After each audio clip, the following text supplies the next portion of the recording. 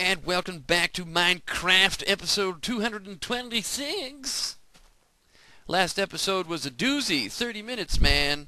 I can't do that all the time, but I did it that time. Because I'm not a jerk. I mean, I tell you I need the money but to do more, but I'll give you I'll give you what I can when I can. All right. Yeah, lots of wheat.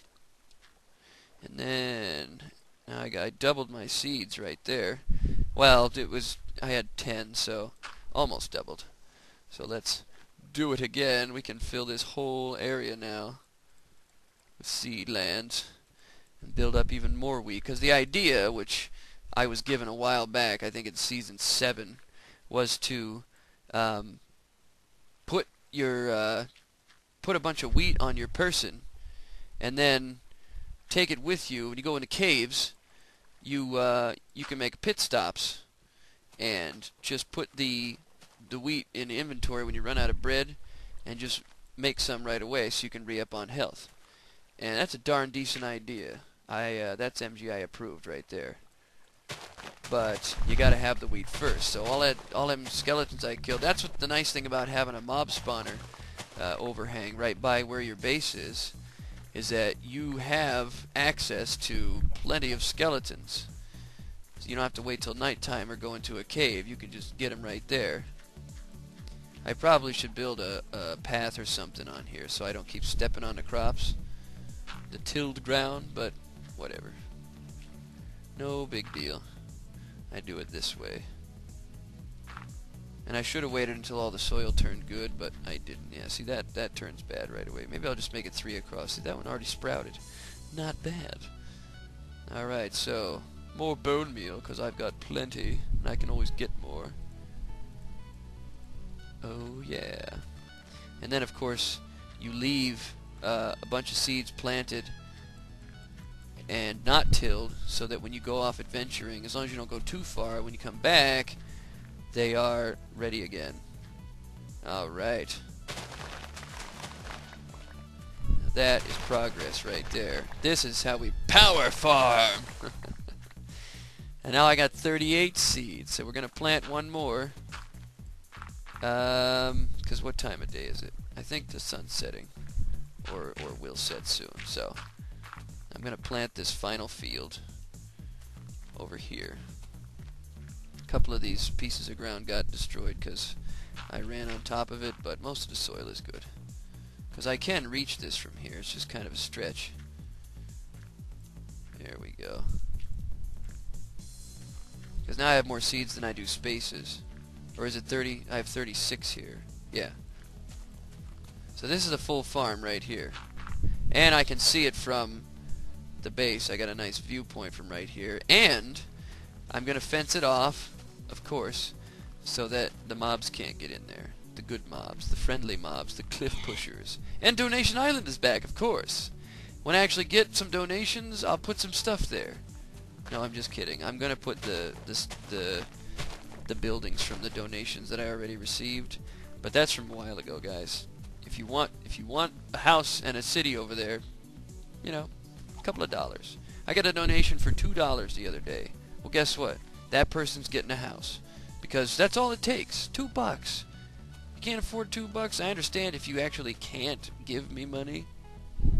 Like if you don't have the ability to use a PayPal, or I've heard a couple people say their parents don't trust me. Hey, that's fine.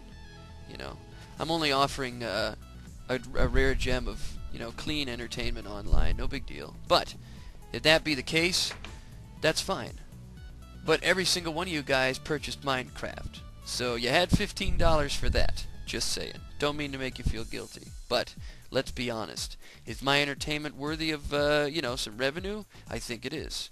I think I have uh, done so much for you guys, and I ask nothing in return, but I encourage donations. It just is important to me because what's going to happen? I'm going to be able to get a job in the field of game design and development. Okay?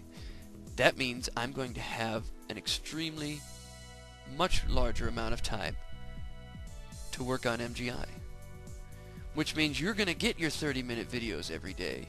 You're going to get your contests and your daily wheel of funds. There's no going to be no gaps in the up video uploads. All of that will be solved. But right now, I don't even have my own place to live. And there's circumstances behind that, but the fact remains. I uh, I do what I can. But without income, without revenue to support this, this is just like public radio. Same thing. They ask you for donations constantly. That's why I have the gifts page. I'm not just asking for money, you get stuff back. Now I'm adding more stuff to it, but it takes longer. So, enjoy that rant. Chew on that for a little while. And uh, I'm going to keep going. The night has fallen. And I uh, I got plenty of this wheat stuff here. So we're going to sleep in the bed again just to make sure it works. And then I'm going to set up for battle because I'm going to go to the I guess it's the east. I think it's the east I'm going to run and look for some of my my uh, previous locations that I was at so I can get uh, some bearings here and build some mine track systems around that. So I don't need the flowers. I don't need the gunpowders. Obviously I do not need the gravel. But I can make more arrows. I didn't make arrows in the first place. Oh well. Yeah, I got enough. I don't have the sticks though. Did I leave any wood in the chest? I don't think I did. I don't think I left any of that stuff in there. Not even an axe. I don't see it anyway. Well, let me get a couple of sticks of wood. Just to make those arrows in the bow. Oh, here's an arrow right here. Arrow more bougainville. Excellent. So there we go. And I didn't make an axe. Oh well. I'm only getting a few few pieces of this stuff so I can re-up and then it's off to the far east. Hey, I got a message from a viewer of mine about the Farlands and I'm thinking about doing a Farlands exploration as a, as a bonus episode. Now, I don't know what's going to happen because it, it, they say it's pretty laggy out there, but for those of you that don't know, the Farlands are what Minepedia and the Minecraft community in general refer to as the edge of the Minecraft map, which is the the outer reaches. Like if I just stood here and ran for about 800 hours, 820 hours, I would hit the edge. Now there's still stuff out there, um, but it's weird, man. I mean, it is terrain like you have never seen before. And I'm thinking about doing a little uh, NBT editing and running out there and seeing if I can uh, I can explore it and try to build something out there. I don't know. It's not going to be a whole season because I have a feeling that the lag is going to be so incredible. I won't even I won't even get a chance to make anything. But I think it is an interesting idea to just go and see that place and try to to make it function. It's just not it's not like like this. I mean, it is epic terrain, but it, it makes no sense. There's there's dirt and and rock from the ground to the ceiling, and there's these tunnels that go through it that just seem to go on infinitely. It's like if you took a, a piece of this map, like five blocks wide, and just stretched it out over an infinite plane.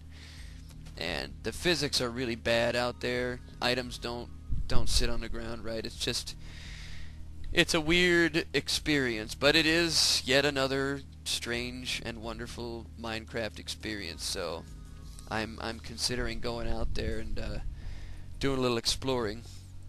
Not in this season though. Uh, not like not in this in this map, because um, I might ruin it. You never know. But now I got the bow. I got myself some accoutrements. I have plenty of torches, or at least enough. Uh, however, I don't have the clock anymore because I lost it. And that just means I'm gonna have to go find some more gold and deal with it. See how much bread you get out of this? That's almost a, a full inventory's worth. And then I save the wheat and uh, tell you while we're at it, let me take care of that iron. I don't think I have any more iron, So it looks like I'm getting a breastplate and a pair of shoes out of the deal. Unless there's some over here. No. No, breastplate and shoes. That's all I'm getting for armor as far as that goes. But we want we want arrows. There we go. 38 arrows is going to do me right. I got the cookies and the bread. So that's that's a nice a nice uh, thing right there. The cookies are going first, and then I should be able to survive with what I have left. I guarantee I will pick up more bone meal on the way. So we're setting up for this adventure. We're going to do it right. Um, no, I'm not going to make new tools. I'm just going to use the ones I have. Even though an iron sword would probably be smarter, I'm, I'm okay with just this one. Put my cobbly there for building purposes. And one workbench and one furnace, which I have right here. Bring the furnace and the workbench along for later. But yeah, I do need a couple of more planks, so let me uh, let me throw down quickly a axe and I'll chop up some wood. I'm actually going to bring the axe with me and cut the wood as I travel. That way it's uh, it's all good. So how's this iron doing? Alright, sweet. That's enough for the braced plate.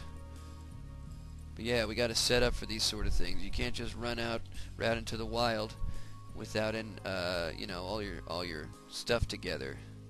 You got to plan.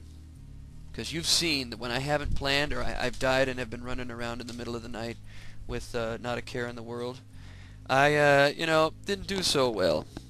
Especially now that the skeletons increase in, in uh, intelligence even though some of you are never going to agree with that, I'm convinced that they have a intelligence algorithm built into them. I mean, it's not like this is anything new.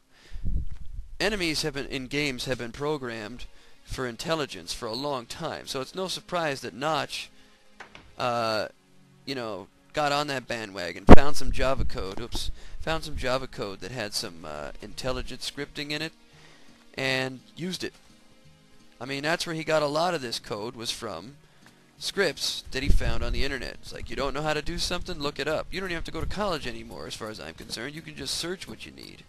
Now, that's not going to make you a master at it, because the classroom setting um, has a professor which might be able to explain things differently than uh, a resource on the internet. But I'm just saying that I've seen Notch write code on his old live streams, and when he didn't have a piece of code, he went and he copied and pasted it. Now he understood what what he was grabbing, but he didn't write absolutely every line and letter from scratch. He downloaded it, or should I say, copy pasta. It's a beautiful thing. A lot of coders use that stuff because it's useful. You don't have to, you know, know absolutely every line that you're gonna write. oh hey chicken, I need feathers. Oh yeah, double prizes. So yeah, Notch copy paste. So there's no reason for me to believe that he did not copy paste um, a uh, a code for a uh, mob intelligence program. I just I believe that he did, and if not, fine. But if you watch my my first set of seasons, and then you watch them now, uh, the way the mobs behave, there is a very identifiable difference between the mobs of then and the mobs of now, and that you cannot deny, because all I got, all you gotta do is watch my videos, and there's the proof right there. Simple. Can't deny it. Go ahead. That'll make you look like a fool. all right. So we are on the hunt. Oh, hey, mushroom. I should really go in the nether and get some of those. Soup is superior, in my opinion. And, and it is easy to get. Nether's not hard to navigate, and I would love to see what the Nether in this map looks like. If the terrain of this is this epic, imagine what the Nether would be. So I'm running across the what appears to be the forest or plains area. I don't see much, but I am going to run into the coastline. And that's that's a valid indicator that I have to go either left or right. I'm thinking I'm going to go left. I'm thinking all this stuff is, is in that direction. Because this this actually reminds me of, of the old InDev maps, where they were re the really long. When you chose long, it wasn't very wide, but it was long, and then there was ocean as far as you could see. So that's what we've arrived at here. And in the next episode, I will continue this exploration effort. I'll see you then. Thanks for watching.